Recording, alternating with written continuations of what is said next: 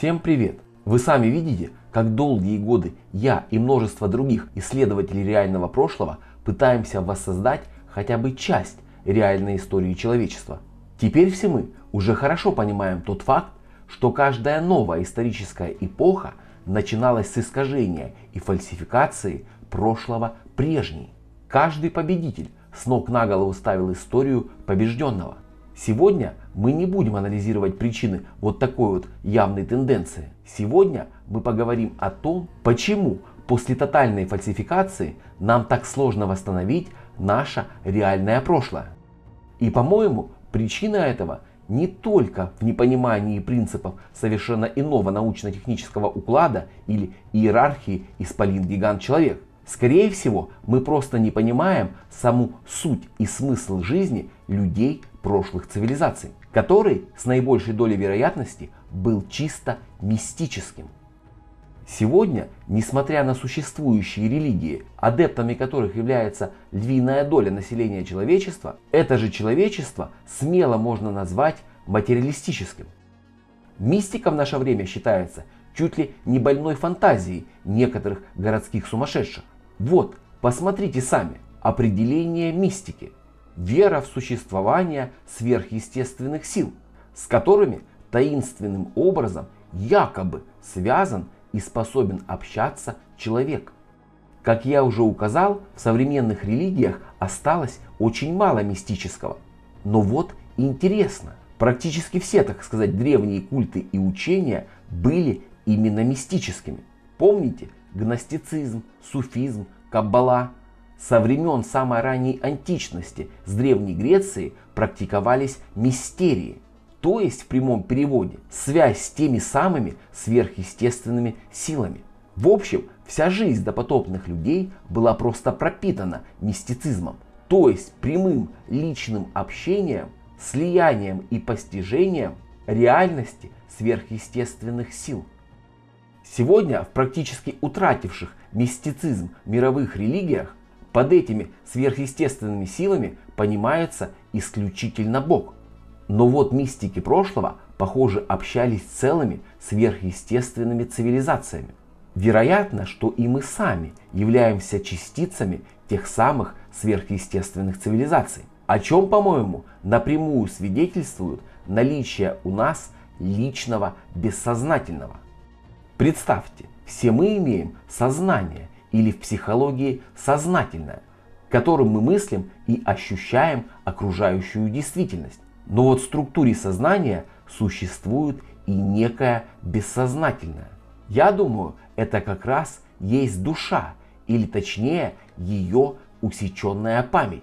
То есть мы понимаем, что в этом своем воплощении люди не помнят, что происходило в их прошлых жизнях, так как память всей души по условиям этой игры заблокирована. Но опыт прошлых жизней оказывается оставлен в личном бессознательном, оставлен в виде тех самых психологических комплексов или триггеров, то есть выводов, которые сделала наша душа, пережив массу событий в прошлых своих жизнях. Вывод. Наличие бессознательного в структуре нашего сознания, похоже, и есть прямое доказательство мистической природы каждого человека. Утрата понимания роли мистицизма в жизни допотопных людей не позволяет нам представить их истинный образ, а также их логику действий при исторических событиях, принципы технологий, а также их физические и умственные возможности. В этом фильме я поделюсь с вами тем, что мне удалось склеить из дошедших до нашего времени информационных обрывков относительно мистицизма, или проще о тех самых сверхъестественных силах. Последние исследования, проведенные в России и в Нидерландах, показали, что в постковидный период болезни позвоночника стремительно помолодели, а вот к врачам обращаются единицы. Остальные сидят на таблетках и уколах или же привыкают вечно жить с болью. Терпеть боль в спине опасно, тем более есть простой, доступный и эффективный способ.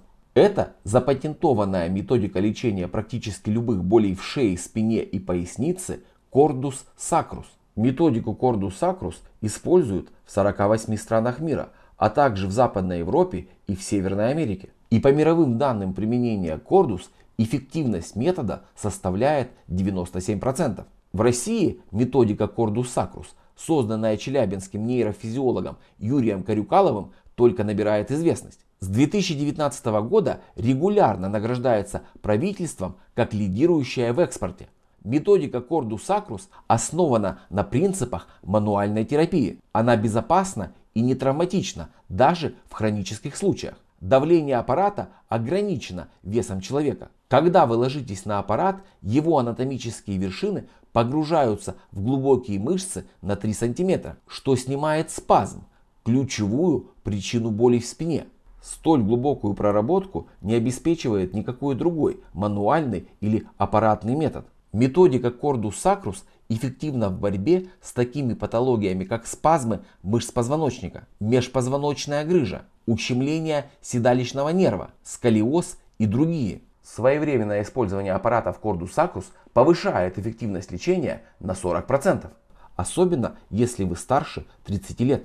Цена одного аппарата всего около 5000 рублей, как пара сеансов массажа. Только аппараты, в отличие от массажа, покупаются один раз на всю семью и на долгие годы. Для того, чтобы заказать данные аппараты по промокоду iSpeak, перейдите на официальный сайт Cordus Sacrus в описании под этим фильмом. Также их можно заказать на Озон. Итак, сегодня у нас очень важная тема для дальнейшего понимания. Это будет у нас еще одним ключом для вообще осознания себя самих. То есть, что такое разум вообще? Что такое наш разум в частности? То есть, каждого из нас разум. Что такое общий разум и что такое разум частный? Откуда он взялся? Кто мы такие вообще есть? Что происходит с этим разумом, ну, по крайней мере, нашим частным после смерти? И как мы взаимодействуем с общим этим разумом? Что это вообще за субстанция такая, этот общий разум. То есть такие краеугольные темы, которые однозначно знали наши предки. И на этом строились их так называемые религии, которые на самом деле были, как мы теперь понимаем, единой верой в единого Бога. Что такое Бог мы тоже с вами уже понимаем. Это некая субстанция создания. И сейчас мы как раз с этим всем разберемся. Но также мы понимаем, что современные религии, они имеют далекое отношение к этому всему, но они тоже появились не просто так. Сейчас нам надо понять вот этот механизм, то есть своего собственного разума, взаимодействия с разумом общим и что с нашим разумом происходит после смерти. Конечно, с точки зрения современных религий, которые отделились у нас после распада единой веры и единому Богу, это все будет считаться ересью. Потому это, конечно же, нельзя выносить э, на публичные каналы типа Ютуба. Как вы уже поняли, этот фильм из наших непубличных каналов, которые размещены на сайтах Sponsor.ru и Boosty. По вашим многочисленным просьбам я выставил данное видео на YouTube. Конечно, здесь вы его увидите из-за цензуры этого YouTube с большими сокращениями. Из-за них многие не поймут сути выводов данного фильма. Поэтому для тех, кому интересно мое историческое расследование, подписывайтесь на наши непубличные каналы на сайты Sponsor.ru и Boosty. Ссылка будет в описании под этим фильмом и в закрепленном комментарии. Здесь я публикую главную часть своих работ по восстановлению реального прошлого. И как вы уже поняли, для данного воссоздания мне понадобились знания из множества несмежных с исторической науки областей знаний. Астрологии, психологии, метафизикой и теперь мистицизмом. Это, опять же, мое предположение, собранное из множества различных фрагментов, проанализированное и выстроенное в единую цепочку. Я накидал несколько тезисов, которые сейчас нам помогут осознать себя. Да, может быть, немножко все это не так, может быть, это сильно не так, но, по крайней мере, если проанализировать оставшиеся источники у нас, которые остались в различных религиях, плюс включить логику и криминалистический метод, вот такая картина сейчас сложится. Это будет моя первая скромная попытка определить вообще и сформировать суть самого бытия и нашего места в нем. Все это нам поможет приблизиться к так называемым запретным знаниям. Ведь еще раз, все это действительно знали при единой вере единого Бога и межпотопную цивилизацию и однозначно знали в античную цивилизацию. Этим пользовались, взаимодействовали с высшим разумом, своим разумом, понимали суть своих перевоплощений. Это у нас сейчас в восточных религиях все осталось. Так что я думаю, вам будет сегодня очень интересно. И вы найдете много параллелей. Конечно же, нам еще работать и работать в этом направлении. Это настоящая теология. И э, вы видите, сколько институтов этих теологических различных конфессий занимаются ответами на эти вопросы. Но также мы понимаем, что в большей части все они, как и фальсификаторы истории, скрывают самое главное суть, для того, чтобы человек не осознал себя. Также этим пытаются заняться очень многие секты, различные направления новых религий, та же АЛЛАТРА. Но опять они делают это все в своих целях. А мы с вами не хотим э, идти никаким целям общественным. Нам нужно э, с собой разобраться. То есть я вас не учу, не э, строю никаких э, там, тех же сектантских организаций там, и все, как, как вы понимаете. Мы просто с вами хотим разобраться. И каждый это воспринят, конечно же, по-своему. И как мы с вами поняли, без этих знаний, то, что мы сейчас выявили, которые являются ключом. Мы сейчас все быстро очень начали вскрывать. То есть без этих знаний мы не разберемся в реальной истории. Не разберемся мы и в настоящем и не сможем строить прогнозы на будущее. То есть действительно мы понимаем, что эти 12 раз, у них у всех различные архетипы, все это связано с астрологией. Как это работает вообще непонятно. Это связано с психологией, но это более понятно. То есть как эта матрица в астрологии так влияет через даты рождения. Хотя мы тоже все разные. Э, мы понимаем эти 12 раз, понимаем 12 направлений. Эля, его детей, э, строивших террасы, эти войны, которые между ними происходили, глобальные катастрофы. Э, то есть мы уже понимаем зачем. Это все система. Система нижних миров, в которой мы находимся после того, как Индра отделил небо от земли, устранив там все бинарные противоположности в верхних трех мирах, то есть дело в три шага. В наших мирах, причем сюда входит не только наш материальный мир. Туда, оказывается, миров-то 7, он только в трех высших это все сделал. Устранил бинарные противоположности. То есть четвертый ментал или там первый в различных там у Левашова. Ну, один из менталов астрал, эфир и мы. Получается в понятии это все Земля. И население эфирного мира, и астрального, этого ментального, везде же оно происходит. Вот оно у нас получается Земля. Но мы в этом сейчас дальше разберемся. Итак, тезисы. Я сейчас буду их зачитывать, чтобы э, меньше сбиваться и сократить время фильма, ну и заставлять картинками, потому что я их вот выписал на бумаге и э, попытался склеить в определенную конструкцию. Если это долго растягивать, просто действительно вы ничего не поймете. Первый тезис. Разум возник не в материальном мире, он возник в надмирах. Точнее, в самом высшем.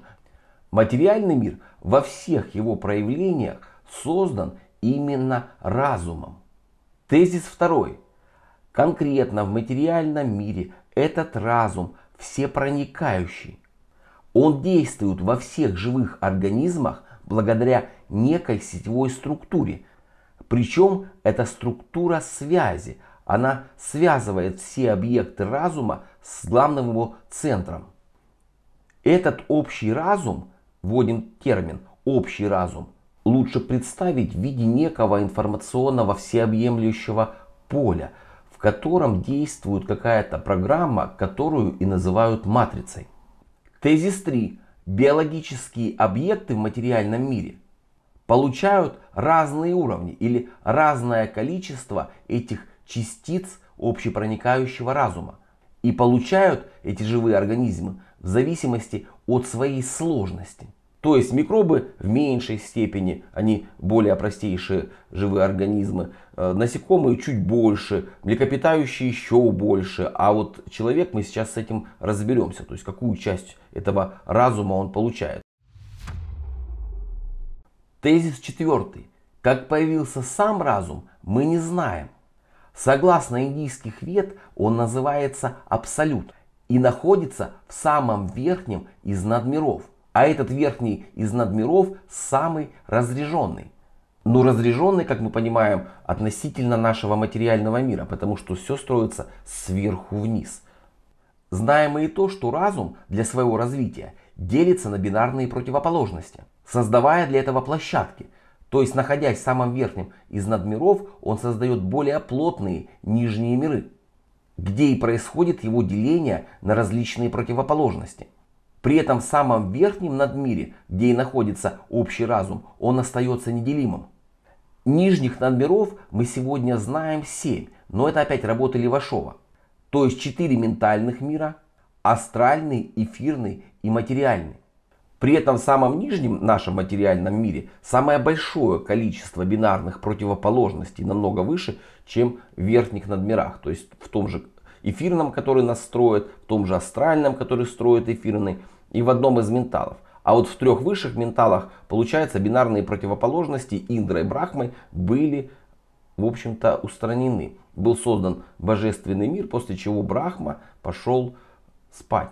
И многие здесь спрашивали, действительно это есть та самая ночь сварога. Но в этом мы с вами еще разберемся. Тезис пятый, который касается концепции Кейпера. Ее мы уже с вами рассматривали. Получается, одно из трех высших проявлений разума, Индра или Брахма, а эти три проявления высшего разума и есть Тримурти, Вишну, Брахма, Шива, сделав три шага, устранил бинарные противоположности в верхних трех менталах, а затем разделил Землю от неба. То есть получается эти три ментальных мира, в которых устранены бинарные противоположности, он сделал божественным миром или небом. А четыре оставшихся мира – астрал, эфир и один из менталов, я думаю, можно назвать Землей. То есть четырьмя мирами, различными по плотности, где и действуют бинарные противоположности. Причем действуют как основной принцип развития. Что получается? Что эти верхние надмиры, в которых происходила борьба даже между Вишну Брахмой и Шивой, достигли своего пика развития, став божественным миром и действительно противоположности изначальные были устранены. То есть мы считаем божественный мир развитым. Там у них все развитие произошло. Но почему-то далее все, все население этих э, миров, опять мы за растризмом потом коснемся, это те самые описанные души, на которых, э, которые выделил из себя тот же Абсолют. Ну, видимо, там через Брахму или сам он их выделял или э, Брахма выделил их из себя не просто четыре, как это проекция в наш материальный мир, а вот эти вот миллиарды душ были выделены, с которыми, согласно зороастризму, Бог в виде этого Тримурти начал договариваться и разделил их на три группы, э, которые будут иметь свою свободу воли играть, группа, которая не будет иметь свободу воли и станет животными, это пока принципы зарастризма рассказываю, и группа, которая отказывается играть, но сохраняет за собой свободу воли, они бестелесные у нас существа, там в виде домовых они их рассматривают. Но смысл в том у нас получается, что действительно верхние надмиры это есть божественный мир, который идеален. А наши миры продолжают свое развитие. Может быть, там еще этих миров будет дальше построено непонятно сколько, потому что мы тоже становимся богами, в общем-то, как вы понимаете. И мы тоже создаем свои виртуальные миры там и какие-то еще. Но какие миры создадим мы, пока не ясно. Как, э, допустим, если жители эфирного мира, просто они менее плотные, у них те же одежды, те, те же войны происходят какие-то. Он чуть-чуть лучше может нашего мира, этот эфирный, но тоже неизвестно. И он же создает нас. Я это все вам показывал. То есть эфирное вещество в сирот создает, передает энергии, то есть наш материальный мир. У нас бинарных противоположностей больше. Здесь идет самая такая серьезная игра. Но создан ли более плотный мир или нет, непонятно. Но это не кремниевый мир. То есть весь мир, который мы с вами наблюдаем, это и есть материальный мир. Кремниевый это просто другая форма жизни материального мира. А вот какой мир э, строится за нас счет, за счет материального мира, мы пока не понимаем. То есть это закрытая информация, мы ее не знаем. Строится ли он вообще. Но наш мир тоже стремится, так же как и эфирный, и астральный, в котором есть битва противоположностей, он тоже стремится к устранению этих противоположностей. Ну, скорее всего, это будет идти поэтапно. Сначала в астральном будут они э, устранены, потом в эфирном, может быть, в астральном уже, в общем-то, это все устранено. Но э, тоже по описанию мифологии, там же частично жизнь богов описана э, которые здесь воплощаются там из астральных миров. То есть получается, что, видите, какая интересная вещь, что Зевс, да, он воплощение Брахмы, но он воплощение, скорее всего, в астрал. Потому что мы понимаем, что астрал тоже Земля. Потому он у нас и играл здесь, э, приходил к Семеле в виде грома и молнии, когда она ему сказала, покажи свой стенный вид. То есть он материализовывался и в эфирном, и в астральном. Получается, что вот этот Эль, он играл не только в материальном мире. Или Эль просто его вот, э, воплощение, аватар в материальном мире. А еще вот э, Зев сам, получается, он играл там, э, в эфирном и э, астральном. Но это сложно пока понять. То есть погиб он там или нет, или там дальше игра продолжается, непонятно. Это все очень сложно, как матрешка. Нам сейчас давайте все-таки дальше будем понимать, э, уберем пока эфирный и вот уберем, как это делают религии. Они небо и земля. То есть небо это там где-то, хотя для нас тоже эфирный и астральный мир небо, но там э, противоречия не устранены, противоположности, там идет игра. А вот те три верхних надмира у нас небо, где сам Брахма находится, который сейчас, видимо, спит. Э, играют его различные аватары и воплощения. И Земля, вот наш материальный мир, который нас интересует, чтобы не усложнять, потому что это оказывается такая сложная тема. Потому религии кусками это все нам и давали, то есть сохраненные знания, но никто их толком понять не мог. Вот мы сейчас пытаемся разобраться. Тезис шестой. Согласно зороастризма, там в высших мирах, в этих трех высших мирах, где были устранены бинарные противоположности – Бог, видимо, в виде этого триединства или высший разум, тот самый всеобъемлющий, выделил из себя миллиарды частиц. В зороастризме они названы душами. Но мы понимаем, что это сущности, а не души, потому что душа это часть сущности, находящаяся в эфирном мире. А эти сущности были выделены в менталах, то есть в более высших мирах. Они же и есть население вот этого вот божественного мира.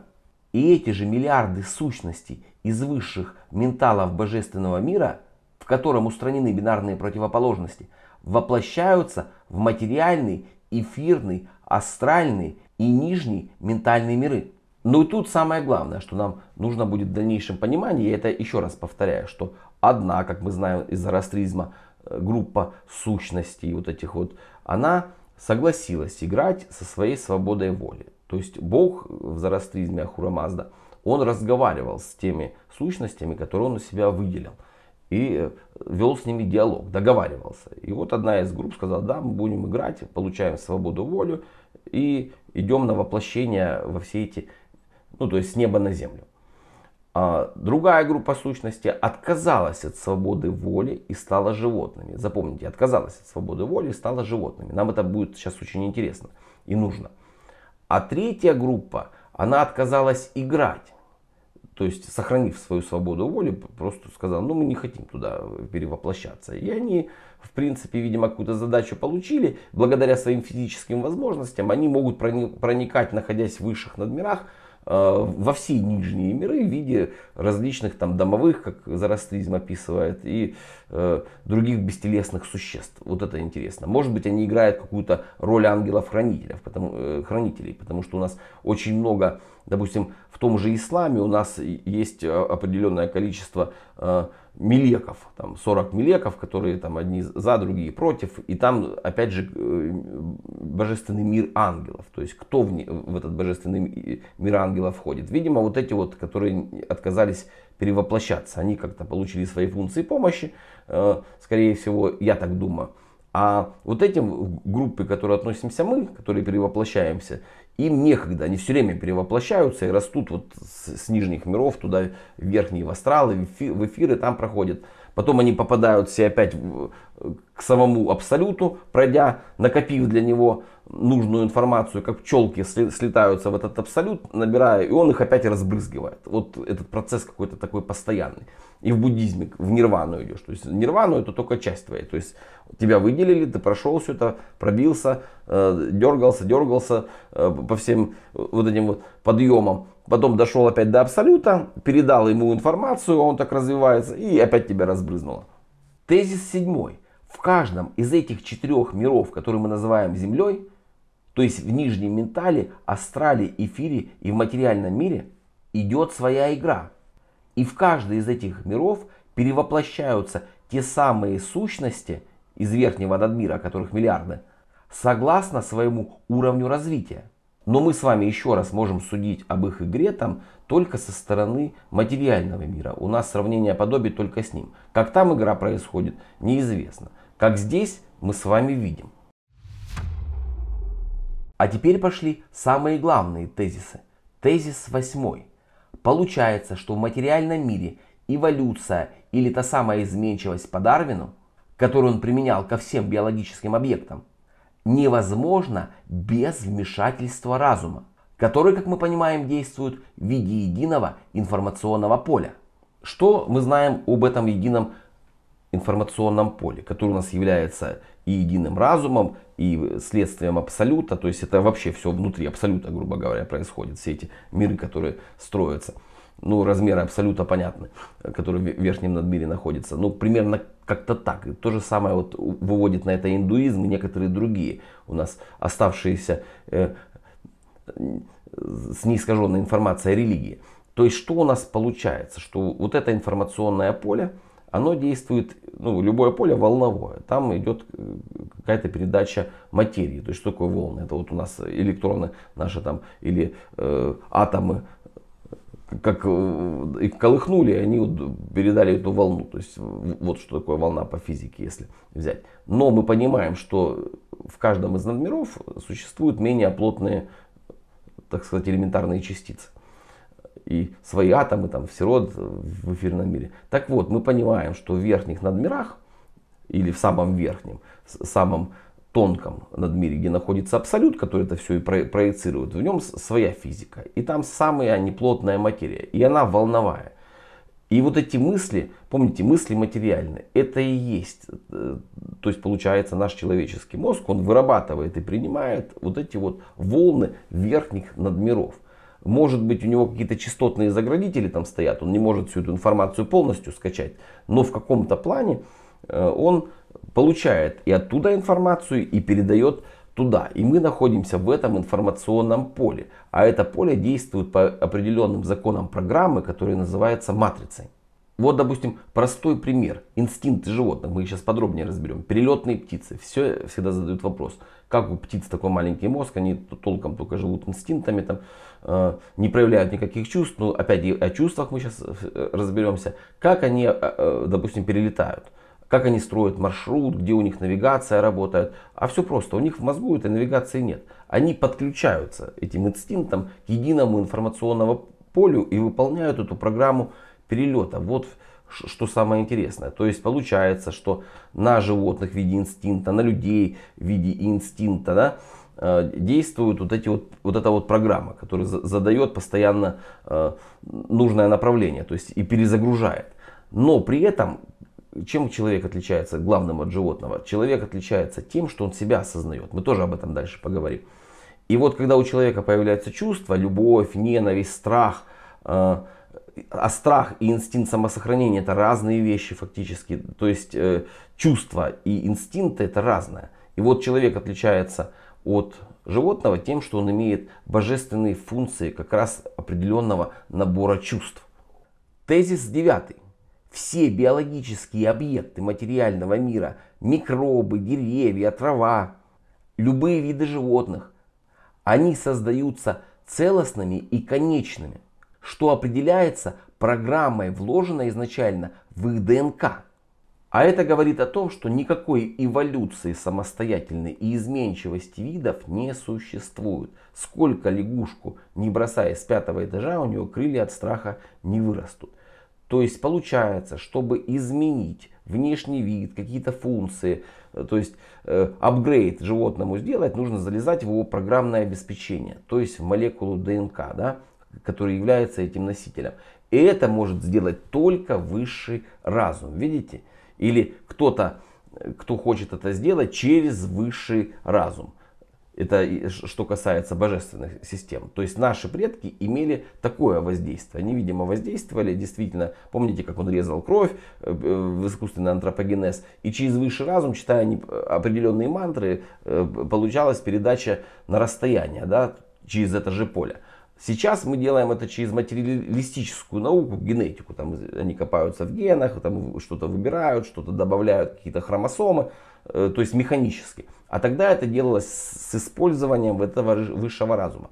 То есть наши прошлые цивилизации имели какой-то доступ туда, ну, в зависимости от своего уровня развития. То есть, э, чем выше цивилизация, тем, видимо, она больше доступа туда получает. То есть, вот эти вот души или сущности, которые играют э, на более высших уровнях, им больше доверия, они больше пользуются вот этим вот единым разумом. Могут уже влиять на изменчивость видов сами, сами люди, да. Но в основном делает это все высший разум. То есть он заселяет э, эти все, все засевы животного мира, э, флоры и фауны на планеты. Потом, да, он может сам изменять, смотреть, благодаря своей программе, как уживаемость идет, да, создавая эту целую экосистему. Но может выйти и э, вот этот вот э, один из миллиарда сущностей, который, допустим, э, хочет изменить, если это не влияет там на что-то, там свои фильтры, видимо, э, какие-то, он пытается, допустим, сделать химеру. И высший разум, ну, смотрит там и дает ему это сделать. Хотя где-то высший разум может и пропустить. То есть он же дает возможность этот высший разум создавать там и опасных химер, и еще чего-то. То есть дает возможность человеку, в общем, поиграться по полной. А у нас очередная веселая история. В общем, очень интересно работать в нестабильном мире, где правила игры постоянно меняются. За время продажи наших книг мы поменяли несколько площадок хранения и доставки. Выбрали ту, что на наш взгляд была самой удобной для заказа и самая быстрая по доставке для наших зрителей. Хорошо мы с ними поработали 4 месяца. И казалось бы, только успокоились, как они решили поднять цену за хранение в 6 раз. Вот такой сюрприз. Итак, запускаем глобальную распродажу на нашем сайте iSpeak.ru. Для самых быстрых книги будут ниже себестоимости. Если вы давно хотели, но не получалось приобрести, то сейчас самый выгодный момент. Спасибо вам за поддержку. Итак, мое главное предположение и десятый тезис. Если изменчивость и эволюция существуют, то это только изменчивость и эволюция самого разума, который представляет из себя некое информационное поле. Оно, это поле, как мы теперь понимаем, проникает везде, оно вездесуще, во все надмиры. Там оно делится на противоположности, где происходит игра. И там же это поле развивается вот этим потоком. И эти души крутящиеся помогают, э, или сущности, э, которые в нирвану доходят и опять распространяются. Но это уже такие процессы. То есть вот этот верхний разум, он таким образом собирает всю информацию, все опыты, которые происходят в различных надмирах, все чувства и в себя аккумулирует и опять разбрасывает. И этим самым развивается именно он. А все остальное, развитие любой материи, что в материальном, что в эфирном, что в астральном надмире, э, оно происходит только благодаря вот этому разуму. То есть он корректирует для себя, э, так сказать, театральное пространство или там еще какое-то пространство. То есть все это, что нас окружает в виде низших биологических существ там и всего остального, это просто реквизит на театральной сцене. А главное идет сущность развития э, самого разума этого. То есть он развивается и согласно своему развитию он и подстраивает под себя, изменяет этот реквизит. Тезис 11. Для нашего с вами восприятия этот общий разум является надбиологической субстанцией, которую мы с вами для простоты понимания и называем Богом. То есть этот общий разум это огромное поле, очень тонкой, самой тонкой из материи. Оно является абсолютом. И этот абсолют, в общем-то, как э, можно какой вывод сделать из индийских вет, он и решил, помните, как рассказывал нам Андрей Бухарин, он находился сам с собой в экстазе, потом он разделился. Но для этого он создал более нижний, нижний мир, более плотный, в котором он уже играл как два. Потом он начал делиться на три, и пошли вот эти вот все разделы противоположности. Но они опять в геометрической прогрессии идут. И к нашему миру, ну, хотя бы седьмой, но тут уже э, этих противоположностей миллион стало. То есть плохо, хорошо, мужчина, женщина, там красное, белое, там синяя, э, черное, там вот в, в таком порядке. Мы только противоположности на, в астрологии теперь э, понимаем. Вот две основные противоположности. Это у нас линия жизни, вода против огня и небо против э, на линии, небо против земли. Вот э, две, две только противоположности. А потом у них еще есть сдвиг этих на Мальтийский крест, хорошо-плохо. А еще есть женское, мужское триединство, и тоже э, самое там происходит. То есть два треугольника, а есть еще два квадрата. Это уже вот функции самого Брахмы. Его четыре головы, они тоже сдвинуты на плохо-хорошо, мужчина-женщина. И вот этих противоположностей там миллиарды и миллионы э, получается в геометрической прогрессии. Ну, я к примеру говорю, то есть не миллиарды, миллионы, конечно, их меньше. Но вот эти вот противоположности, они имеют огромное количество. Но в верхнем мире было так. То есть мы имеем дело с какой-то субстанцией, как веды пишут, что внутри нее все происходит, этого яйца. И внутри себя она строит, просто ее размер, ну непонятен. Мы там функции времени, размеров, тут тоже непонятно. Все надмиры, получается, внутри нее, как в матрешке, происходит. Она все всеобъемлющая. Ну, тогда же она получается конечна. А может и нет. Может она и бесконечная, эта субстанция. То есть вот насколько все это интересно. И как устроено вообще все мироздание, тоже очень интересно. Мы вот с детства знаем, спрашивали на уроках астрономии там родители, а что вот, когда космос закончится, что за ним? А он бесконечен. А как? Ну, должен же быть какой-то конец. Нет, он бесконечен. Ну, так, такая вот материалистическая теория.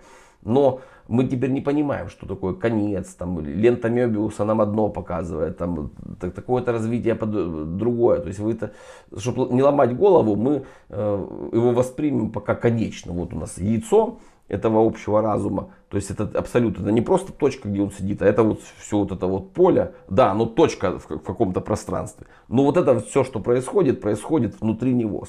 Все эти семь надмиров находятся внутри него. Может быть там еще построятся, эти, там будет 20 когда-то этих надмиров. Это все будет происходить внутри него. Вот примерно такое мое предположение. Мы с вами предположили то, что существует некое поле разума. И у нас этому есть небольшие подтверждения. Конечно, не из фантастической литературы, но мы уже с вами и Гарри Поттера понимаем, и Дивергент, и множество других фильмов. И вот интереснейший фильм «Звездные войны», который нам тоже очень много разложил. Борьбу двух этих видов империи против республики, которые мы с вами уже понимаем, что это земщина и опричнина та же самая в переводе. И там у нас как раз торговая федерация указана. То есть мы там видим вот это вот разделение. Вне государственная система, вот эта торговая федерация. Но что нам Звездные войны еще открывают? В определенный период времени жители галактики впервые ощутили энергетическое поле, которое пронизывает и связывает всю Вселенную. Из-за своей мистической и могущественной природы это поле получило название сила. Причем восприимчивость к силе является следствием заражения крови человека особыми симбиотическими микроорганизмами мидиахлорианами, которые дают возможность своим носителям управлять материей и энергией. У силы есть две стороны – созидательная светлая и разрушительная темная существует и баланс, равновесие этой силы. То есть баланс это Сурья, Вишну, Судья, смотрящий за борьбой Брахмы и Шивы, Созидателя и Разрушителя. Помните наше триединство Тримурти? Но при этом нужно помнить то, что все три есть одно. Итак, что здесь интересного? Да, это информационный след – то есть те, кто создают эти фильмы, они действительно пользуются какими-то источниками, но перекладывают их, конечно, на сценарий. Но вся модель там фактически видна, вот этой межгалактической борьбы империи и республики, торговых федераций. И вот они говорят о чем. Только они здесь выделяют тех, кто имеет из людей эту восприимчивость к силе, тех, кто заражен этими медиахлорианами. Но, скорее всего, все люди заражены определенным количеством этих медиахлориан. И они, может быть, предположительно являются помощником носителя разума. То есть чем отличается животное от человека? Даже высшие животные. Они не говорят, то есть у них чувства ограничены. То есть у них нету такого разума. Вот как происходит человек, э, очеловечивание, процесс искусственного антропогенеза? чем является э, ген от Бога. Либо это действительно ген делает из обезьяны при оплодотворении человека, то есть более сложный. Да, генетическое различие обезьяны человека есть, там несколько хромосом.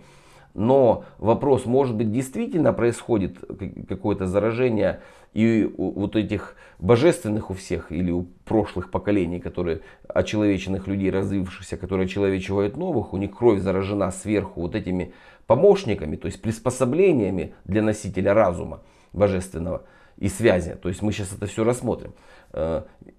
У нас эти медиахлорианы могут быть называться митохондриями. И есть как раз э, в ученом сообществе огромное количество споров. То есть митохондрии помогают человеку.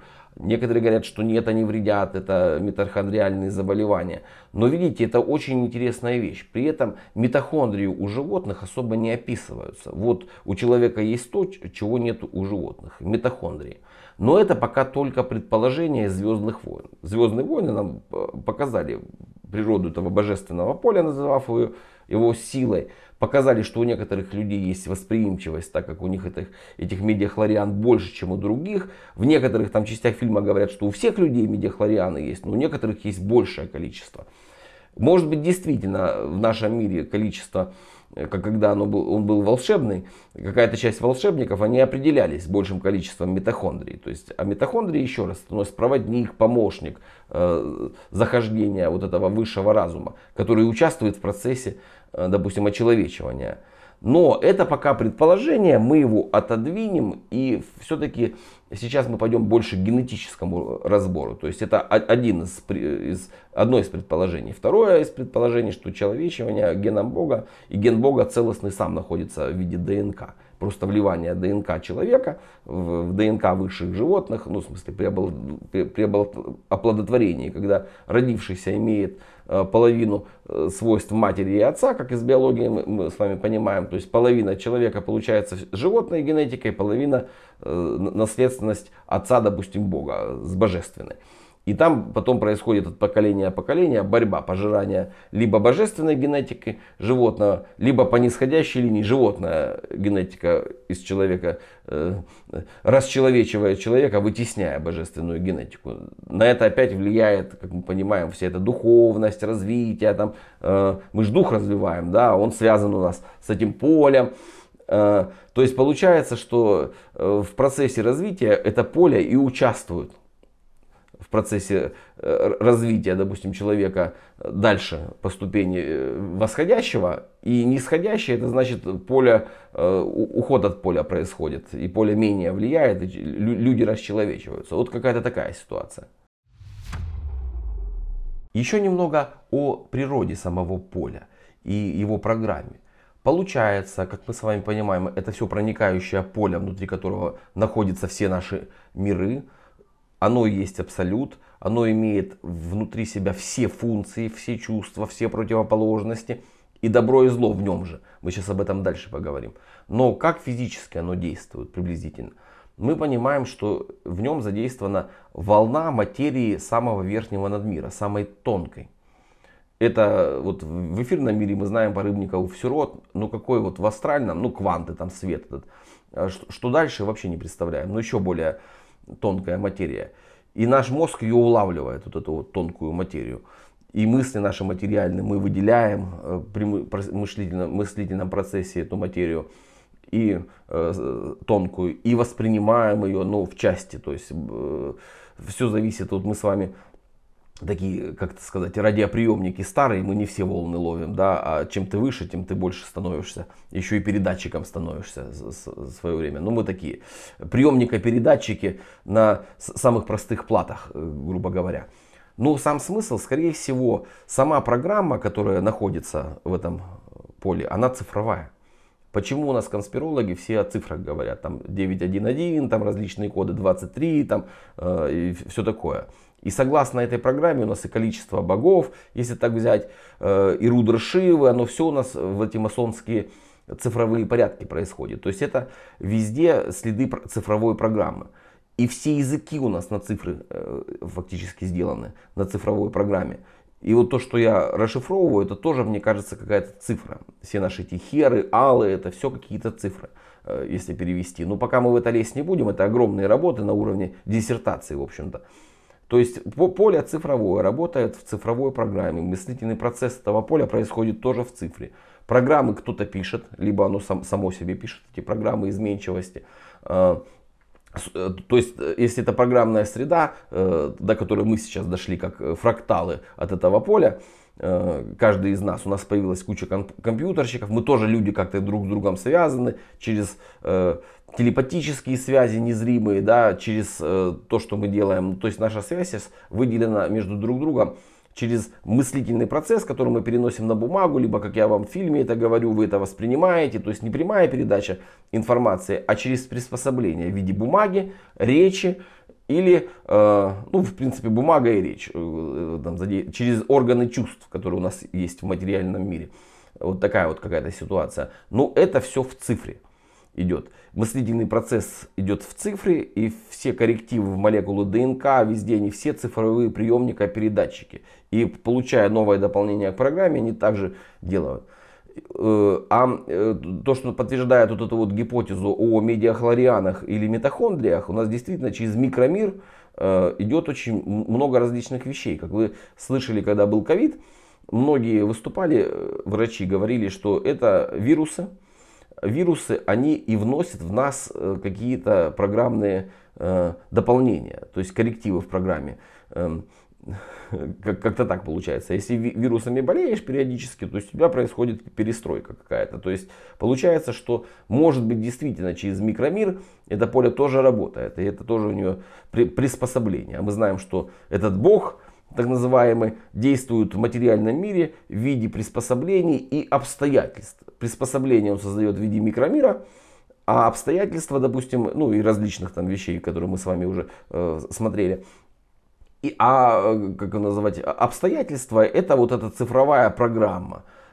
И цифровая программа, у нее есть участки для каждого человека, прописаны для социума, для мира. И эти все программы там встраиваются, играют, как вы понимаете, различные э, знаки, сигналы подают. И вот конспирологи в этом работают и копаются. А мы с вами решили, что мы не отвергаем ничего, никакую информацию не отвергаем. Мы, чтобы собрать все, берем самое лучшее ото всех. И вот мы берем этот конспирологический пласт. Ну а теперь о другом. То есть э, вернемся к силе из Звездных войн. Сила, как вы понимаете, как там описано, имеет двойственную природу. Темная ее сторона и светлая ее сторона силы. И там уход на темную сторону силы. Вот давайте в этом разберемся. Это, в принципе, чистейший зороастризм. О чем зороастризм говорит? Что зло и добро имеет изначальную природу. Э, в христианстве это по-другому описывается, что Бог был добрый, с него появился Люцифер там, и сатана э, выделился там.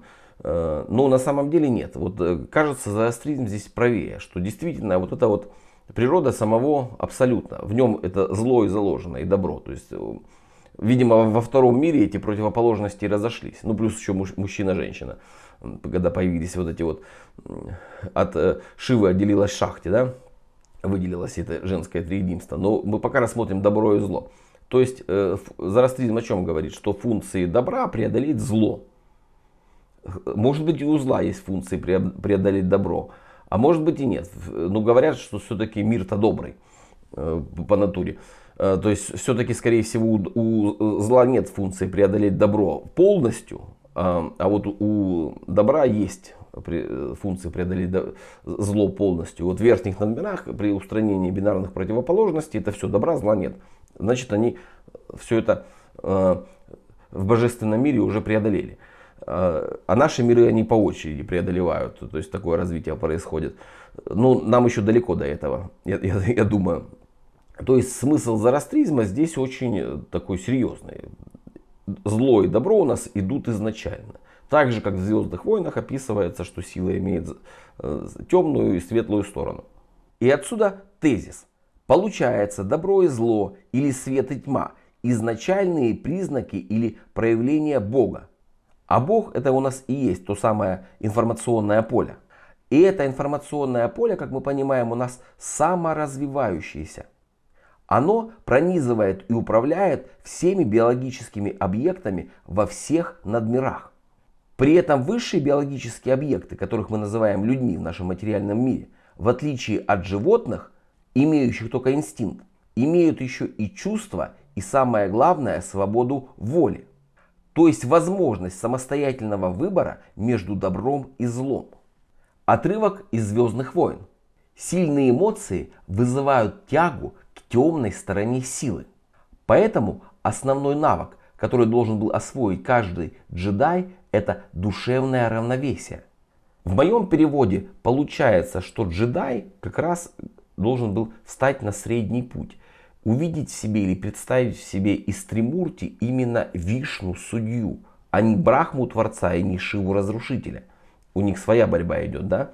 Ну, получается, что действительно путь Вишну, вот этот вот путь судьи, наблюдателя и поддерживателя баланса в этой силе, в силе главное же баланс, это и есть средний путь.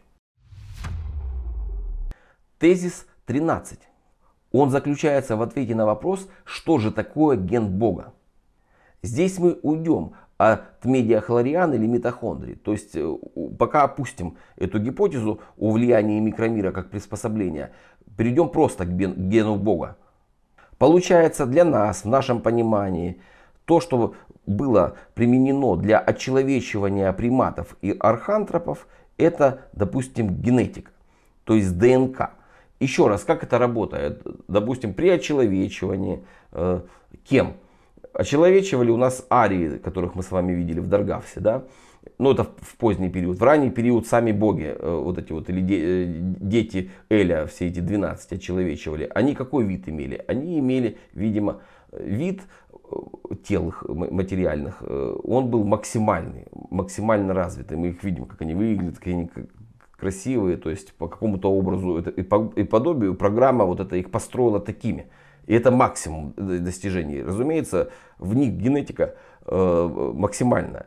И в этой же генетике, так как она самая сложная, есть все необходимые, допустим, функции для того, чтобы туда вошел э, вот этот вот полевой, или вошла эта полевая структура. И произошел обмен информацией э, между этим полем и телом. Может быть, ну, мы митохондрии с вами убрали, медиахлорианы как приспособление. То есть все, допустим, второе у нас тезис э, или второе предположение, что это все находится именно в гене.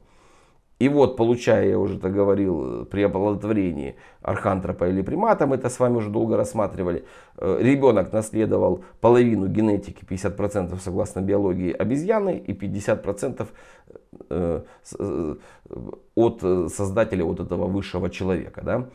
Эти высшие люди, мы тоже с вами уже говорили, что не могли и материализовываться в этом максимально полученном Э, или предусмотренном программой виде, либо развиваться в процессе там, э, вот этой вот э, дальнейшего очеловечивания по восходящему пути, смешиваться и с подводными, и со всеми, вот так вот они получались там, в конце античного периода. Мы еще далеко, далеки до них. То есть предположим, что действительно ген Бога при попадании в ген животного, он перестраивал животного 50 на 50. И потом в процессе дальнейшего очеловечивания этих семи поколений он вытеснялся. Э, но вытеснялся тоже не до конца, то есть ген животных до конца не, не, не уберешь, скорее всего, а может уберешь, ну, может быть и нет, все равно привязка к материальному миру, это земля, ген, ген животного, он должен остаться. И какие-то инстинкты у человека все равно остаются. И инстинкт питания, и самосохранения, и размножения у человека есть в виде инстинкта. А, допустим, чувство это уже другая вещь. То есть, э, видите, если у обезьяны, в общем-то, просто инстинкт э, э, размножения, а у человека это все выше. У него инстинкт раз, размножения в правильной прострации происходит через любовь. Сначала любовь чувства, а потом включается инстинкт размножения. И вот это тоже одна из таких определяющих факторов, одно из определяющих факторов отличия человека от животного. Напомню, что согласно зороастризму, человек от животного как раз и отличается свободой воли. То есть животные это те самые сущности, такие же выделенные из Бога, которые отказались от свободы воли и играют роль животных. А, мы приняли всю эту ситуацию и играем со свободой воли, выделяясь э, в игру Бога. То есть прокручиваясь, э, набирая для него информацию в надмирах и уходя в нирвану туда к нему, где он нас опять рас, э, распыляет. И он с нами договорился об этом. Когда-то еще при том, когда он выделил все эти миллиарды сущностей из себя. То есть получается, что отличие человека от э, животного по зороастризму это как раз наличие у человека свободы воли. И действительно, официальная наука достаточно хорошо отвечает на этот вопрос. Чем сознание человека отличается от сознания животного? А сознание человека отличается от сознания животного наличием именно самосознания. Или той же свободы воли, о которой мы говорили. То есть человек может помыслить, я делаю то-то. А животное имеет свое я, но его полностью не осознает. Сознание животного проявляется в инстинкте. Но инстинкт это не самосознание.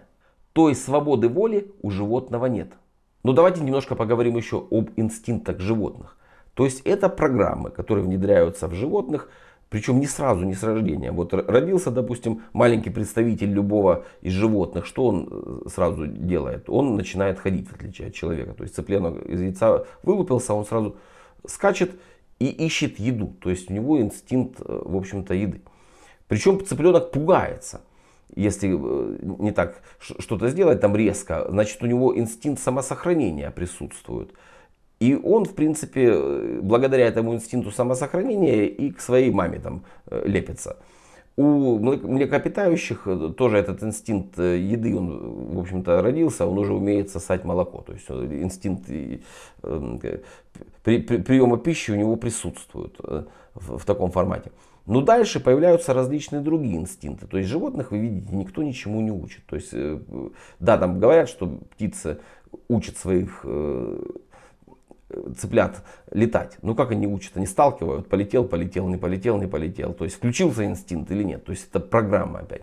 Получается, что по мере развития вот эти маленькие мозги их, этих животных, они догружаются программами. Родился. Я не думаю, что это все заложено сразу, потому что вот птицы, летящие на юг, они действительно напрямую с программой этой э, задействованы, с этим информационным полем. И так во многом проявляется информационное поле. И у людей оно часто в различных ситуациях проявляется. Но вот у нас что получается. То есть оно не думает, мыслительного процесса нету. И в процессе э, своей жизни происходит догрузки по э, достижению определенных э, видов ну, определенного возраста. У человека то же самое происходит. То есть у человека происходит всякие психологами установлены различные виды изменений человека. Там 3 года, 6 лет, там, до 5 лет у него там ипофиз не закрыт, там, когда прямая загрузка, видимо, еще идет. И так в течение жизни у человека тоже загрузочные вещи есть. Но человек, в отличие от животных, он учится. То есть он учится через свои органы восприятия, через, опять же, слух, э, слово и глаза читает, смотрит фильмы. Животных такого нет. То есть у них обучения нет, у них прямая догрузка, в общем, как вы поняли, в виде дополнения их инстинктов в процессе жизнедеятельности. У человека, кроме дополнения его части животной вот этими инстинктами, у него происходит еще процесс самообучения. А обучение, оно э, как действует? То есть вот это самообучение, так как мозг человека получается уже готовый фрактал Богу, он тоже э, может саморазвиваться. Вот наше основное отличие. То есть мы саморазвиваемся. И нам образование, духовность, культура, она дает определенный поток саморазвития. Ну, я думаю, это и так все знали или представляли. Я просто пытаюсь все это сформулировать. Итак, что мы с вами имеем? Человек имеет инстинкты и чувства в зависимости от животных. И главное, свободу воли. Ту свободу воли, который дал высший разум тем миллиардам сущностей, которые выделил себя в верхних надмирах, которые там и находятся. То есть получается, что путем очеловечивания создается условие, сосуд для воплощения одной из этих миллиардов сущностей в нас. Ну, в ком-то из нас. И мы все с вами именно такие. Как это происходит, сказать очень сложно. Но я думаю, что воплощение вот этих миллиардов сущностей, оно немного отличается от воплощения Брахмы. Если Брахма просто из себя выделяет э, это воплощение, но при этом он остается там же, наверху, там он спит сейчас, его воплощения там работают, имея свободу воли. А, то есть он просто копии со свободой воли посылает, да? Ну это боги триединства. И божественный характер так и действует. Также Бог из себя выделил все эти миллиарды сущностей, как самостоятельные. Но эти самостоятельные э, миллиарды сущностей так, как Бог действовать не могут. Потому они оттуда фактически уходят. То есть они э, являются нашим одним из астральных тел. У нас же с вами есть и эфирное тело, и астральное тело, не астральных вернее, и ментальные тела. Они являются у нас в менталах. Ну, соответственно, действуют и создают все эти остальные тела. То есть, скорее всего, оттуда переходит вся эта душа, которая здесь играет, развивается и уходит как приспособление или инструмент туда в нирвану. Проходит эти колеса сансары, четыре архетипа, на которые все это разделилось. Еще раз немножко уйду в верхний мир. То есть как получается, я думаю, как происходило логически. То есть вот Тримурти у нас в, в третьем мире э, выделился уже Брахма создатель. Он у нас э, та часть этого триединства, которая от, от, отвечает для, за создание.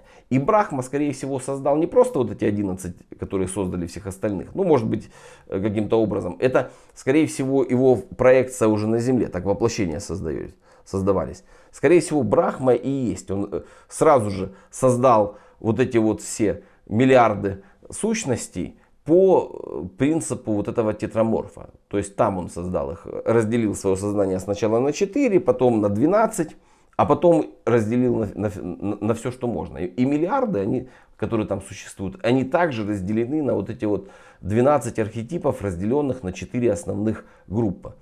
А проекции их проявления или воплощения на Земле, они вот здесь вот по родовому принципу так создают. То есть 12 э, создавал Зевс. Зевс, он воплощение, самостоятельная часть, выделенная из Брахмы, которые действуют. И он здесь с, э, родил этих э, различными путями этих богов. 12, которые создали э, все человечество в виде, опять же, 12 раз. И те вот каждый так и воплощался из э, вот этих вот миллиардов душ. То есть у меня такое пока предположение, чем Бог отличается от человека. То есть э, Бог действует на земле в виде выделенной из себя опять части, которая является самостоятельной со свободой воли. Но вот эти все части, то есть Эль и Зевс, Эль это не совсем Зевс, Эль и Брахма. Эль Брахма Зевс это не совсем Брахма, это его копия выделенная, воплощение. А воплощение этих миллиардов душ, оно происходит целостным.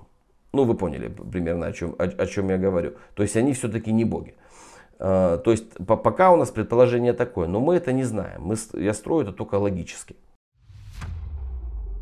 Ну, еще немного откатимся к животным. То есть получается логически, что вот этот вот всеобъемлющий всепроникающий разум, он действует во всех биологических организмах по-разному. В деревьях он действует так, там даже инстинктов нету, там заложенная программа роста, там сброса листьев там, и плодоношения. А в траве по-другому, а в микробах там вообще по-своему, там в простейших. Чем проще, мы же знаем, что простейшие микроорганизмы, потом они идут сложнее, сложнее, сложнее. Э, это все у нас происходит, там, ну, деление флоры и фауны, разумеется, тоже на простую, сложную. То есть проявление этого разума, оно происходит в этих микроорганизмах, передачи программы, согласно ну, цифровой программы, их уровню развития, то есть их сложности.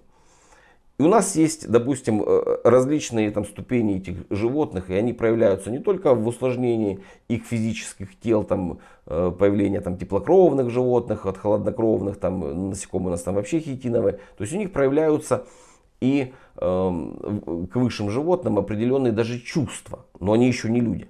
Свободу воли они еще не совсем, в общем-то, ее признают. Вот тоже интересный момент, что, допустим, э, у нас насекомые имеют там несколько инстинктов, там размножения, еды, самосохранения. И то не все насекомые имеют инстинкт самосохранения. Дальше у нас появляются млекопитающие, там простые, сложные, у них тоже все эти наборы инстинктов.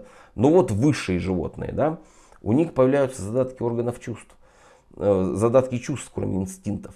Э, допустим, ну да, дикие животные, они своеобразные, они как вот эти программы. Вот, волк, он своеобразный, э, он не испытывает, скорее всего, ни любви, ни ненависти. У него вот чисто такой непонятный движ, потому его при, при, приучить нельзя. То есть у него э, выполнение строгих функций инстинкта. Хотя кто-то видит душу в волках, но она есть, понятно, только она без свободы воли. Он полностью привязан э, кверху. Хотя есть люди, которые в них будет это каким-то образом. Э, редкость очень большая, но в волках они, по крайней мере, этого человека они признают, но других нет. Э, это сложно все, пока уберем. Но вот у нас есть домашние животные. Вот мы с вами видим, что кошки, собаки, в них проявляются какие-то чувства, чувство привязанности, у собак даже чувство любви происходит какое-то, вот у высших животных. Но что здесь нужно отметить? Что домашние животные, даже официальные ученые признают, в них присутствует геном человека. И как мы поняли, что процесс искусственного антропогенеза, когда человечивали обезьян в людей как сосуды, он происходил и с домашними животными. То есть реальное домашнивание происходило не путем приручения, а тоже путем того же жреца, которые садили козочек в таврские ящики. Мы в Крыму находили такие таврские ящики. И там следы баранов и всего остального.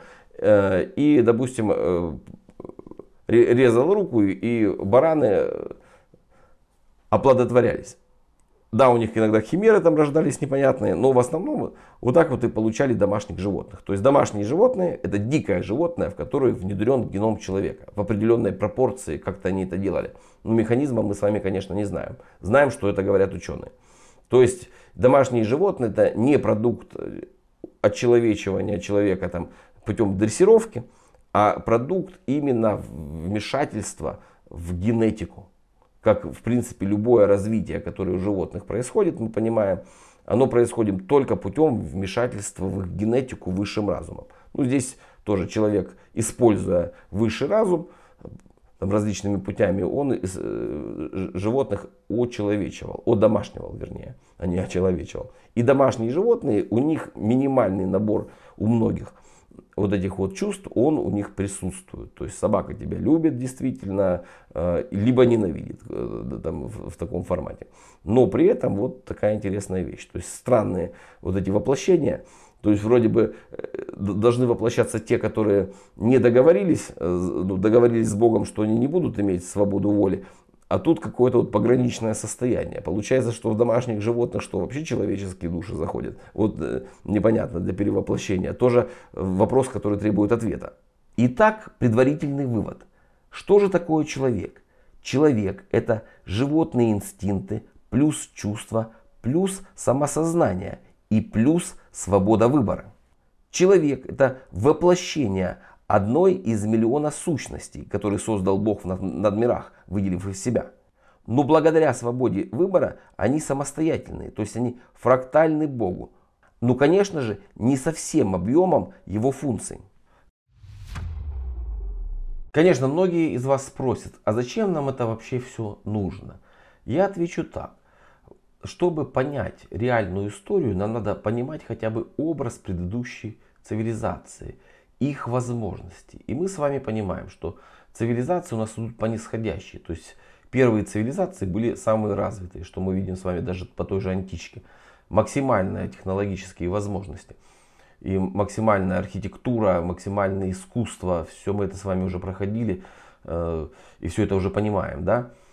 И э, мы понимаем теперь, что люди знали вот это вот все мироустройство. Для них это была не религия, а жизнь. Они понимали, откуда произошли люди, они понимали взаимоотношения с богами, то есть с этими субстанциями. А в этом едином поле, представьте, действуют программы вот этих вот всех богов, э, тех же покровителей этих народов, которые они породились. У них есть э, э, там в верхних мирах эм, их основы.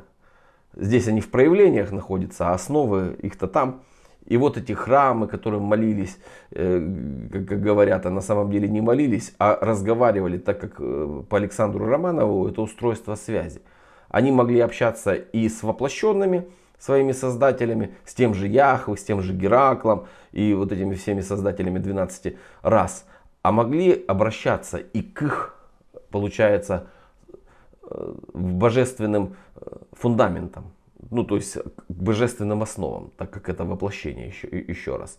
И все это корректировалось получается, даже имея свободу воли, то есть он выпустил Брахма у нас э, своего Эля сюда, как воплощение со свободой выбора, да, со свободой воли, и влиял на него в процессе.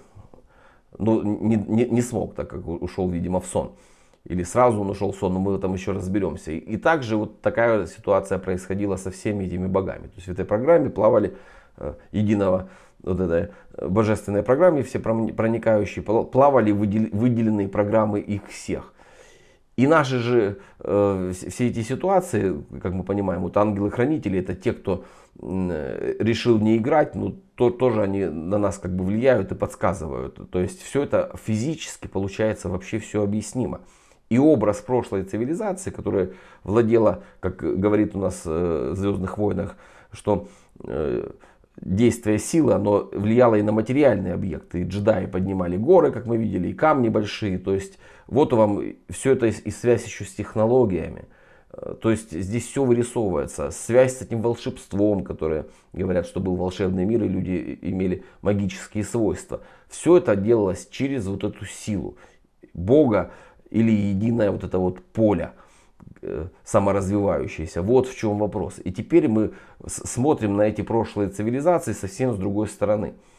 И совсем под другим углом, понимая, и это, то есть нам объясняет все, до чего докопались альтернативщики, весь этот пласт информации и по магии, и по передвижению камней, там, и по э, материализации, дематериализации, которая происходила э, в, в той же мифологии. То есть получается у нас Зевс к Семеле приходил, материализовался, вид Э, там, юноши, пришел к ней, зачал ребенка. Но когда она попросила его прийти, взяла с него э, клятву в своем истинном виде, подозревала, что он пришел в виде грома и молнии, в своем астральном виде, и она сгорела. Но это все сложные э, очень вещи.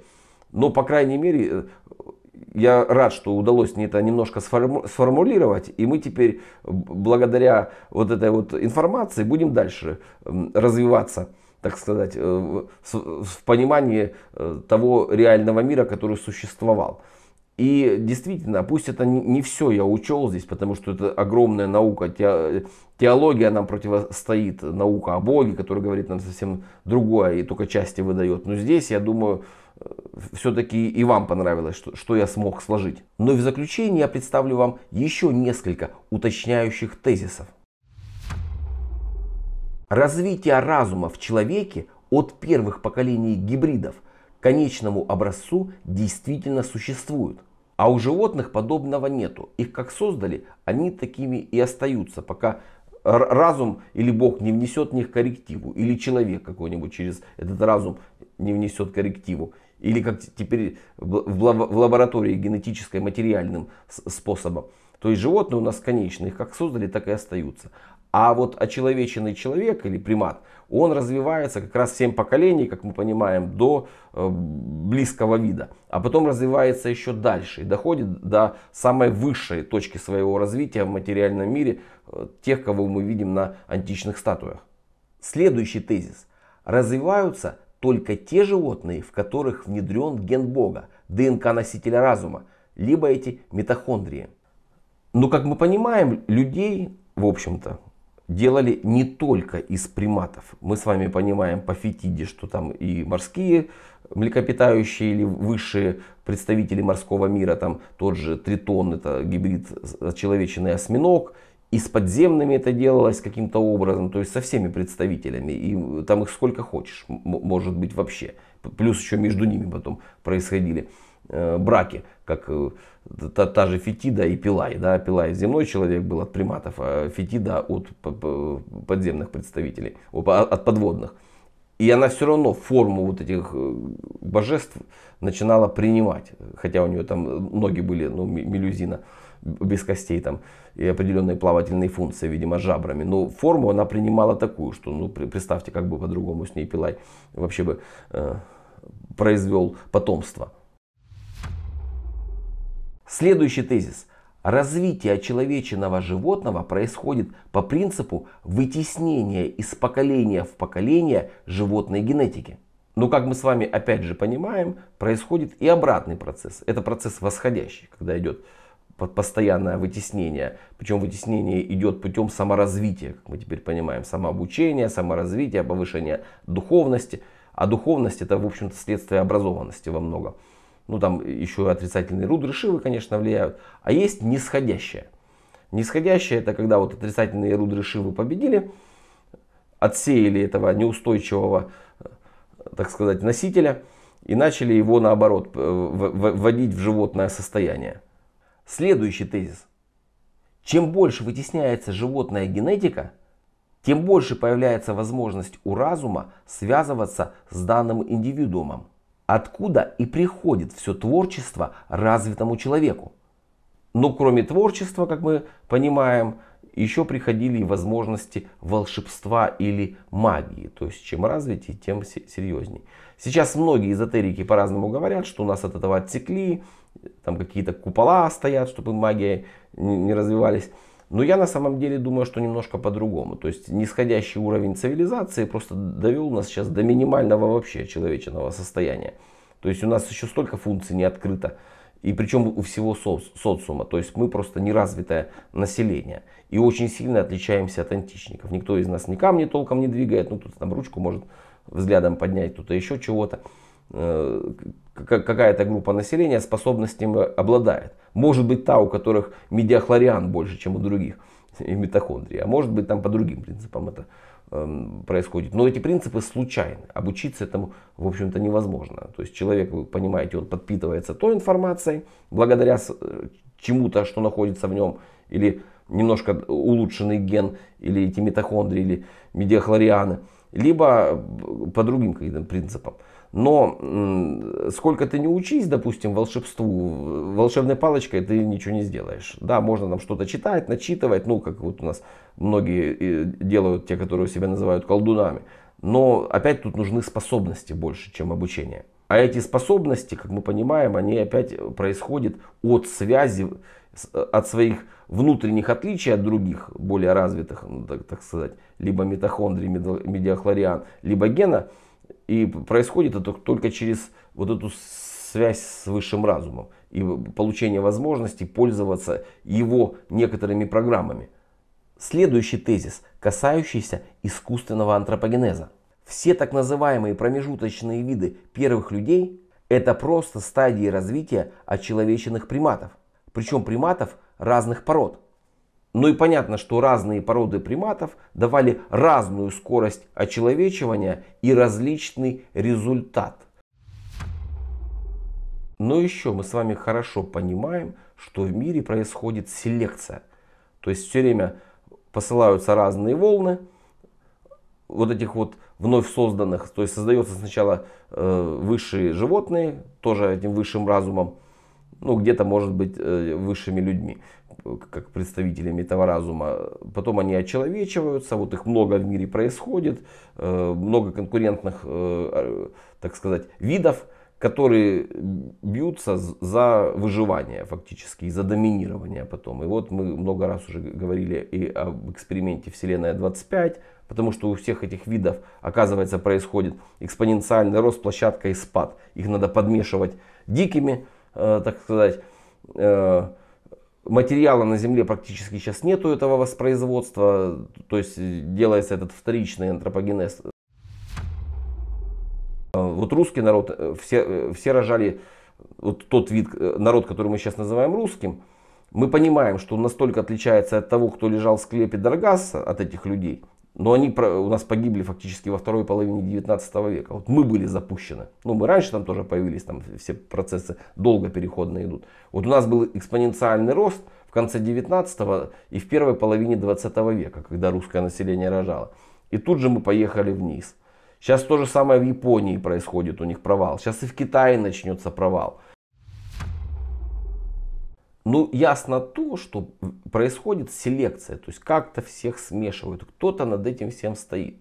И согласно, допустим, э, у нас антропософам, теософам, они вот представляли в начале 20 века, что будет планета Тормоз, вся будет населенная китайцами, они всех поглотят, как новая вот эта вот э, система, да. Но воплощение опять пойдет, то есть меняются сосуды, да, там может быть у этого населения меньше возможностей. Вот, допустим, э, ты развился во многих жизнях, там, ты стал поэтом, писателем, там, магом, да, и тут ты вселяешься, ну, в мире опять всех уничтожили, и появились эти люди непонятные, там, новые сосуды, да, и ты вселяешься в сосуд какому-нибудь племени, там, э, невменяемым. У тебя такие способности, а ты их развить не можешь, э, они у тебя все заблокированы, и вот у человека начинается несоответствие своей этой сущности и внутренняя борьба, то есть сущность пытается его вытянуть, а его животный инстинкт тянет назад, и вот такое же происходит.